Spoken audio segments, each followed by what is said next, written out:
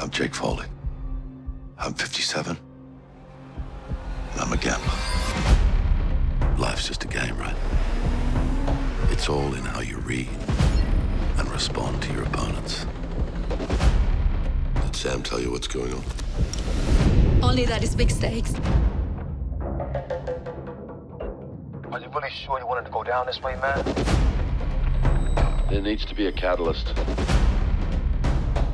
And I don't have time to wait around for these guys to tell me the truth. Cheers, lads. 25 million on the table. Who are these guys? It's poker night, and I want to play. Forgive my cynicism, but what's the catch? I just thought we'd up the stakes tonight.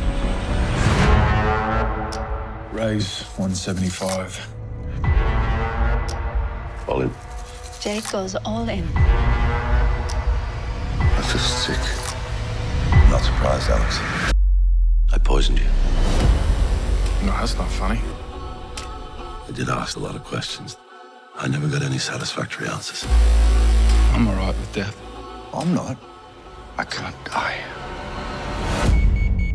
I hope this is another one of your surprises, Jake. They don't know where we are. Let's go. Okay, we got the guys. Nobody's home. Check around. They're hiding somewhere. I know you're still here, Jake. Dad? What's she doing here? Hello! There's six of us and three of them. We can take them. Life's just a game, right? Maximize your win.